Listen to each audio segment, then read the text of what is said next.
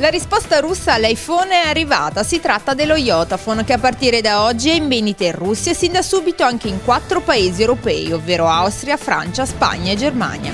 Bisognerà pazientare un po', ma entro la fine del primo trimestre 2014 questo dispositivo sarà disponibile in 20 mercati nel mondo.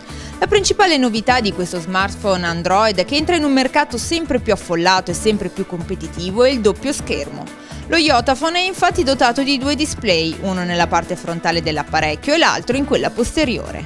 Il display posteriore è stato realizzato con la tecnologia dell'inchiostro elettronico, lo stesso per intenderci utilizzato per gli e-reader, che permette di limitare il consumo di energia e di conseguenza la batteria dura di più.